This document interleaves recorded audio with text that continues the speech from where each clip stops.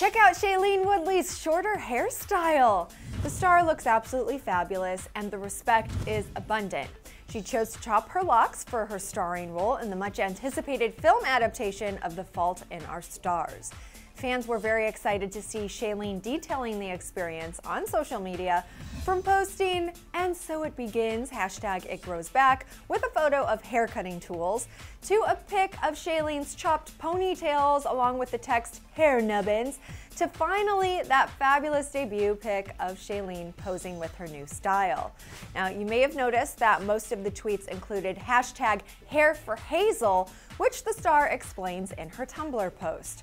She wrote that she chose to cut her hair, quote, to help morph my physical body into that of the incredible Hazel Grace Lancaster, and that Shailene has the blessed gift of donating her long locks to a wonderful organization who will then create a wig for someone in need.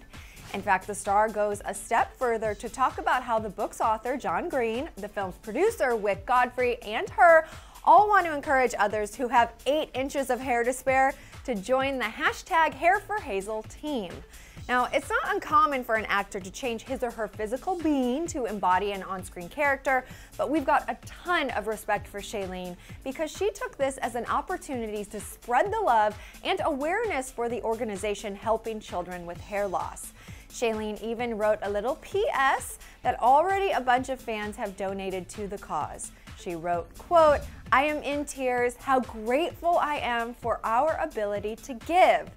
And on a lighter note, the star said that she got inspired for the change about six months ago when she heard a song by Regina Spektor. It goes, maybe you should just cut your own hair because that can be so funny, it doesn't cost any money, and it always grows back. Hair grows even after you're dead. So she transformed from wanting to grow, grow, grow her hair as long as possible because it symbolizes strength and power to herself.